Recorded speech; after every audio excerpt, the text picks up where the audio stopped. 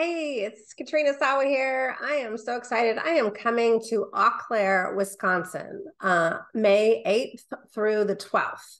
And I want to see you if you're anywhere nearby. Um, I'm going to be in person speaking at the Polka Dot Powerhouse meetings um, May 9th, 10th, and 11th. There's four different meetings you can attend, and you don't have to be a member.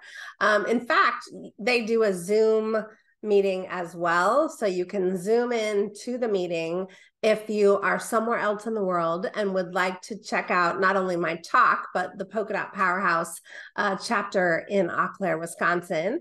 They have 170 members just in that area alone. So if you are in that area and you, whether you're a member or not, I will be there from May 8th to the 12th. Reach out to me. Reach out to me. Send me an email. Send me a message on Facebook or LinkedIn. I would love to connect with you for lunch, dinner, or happy hour.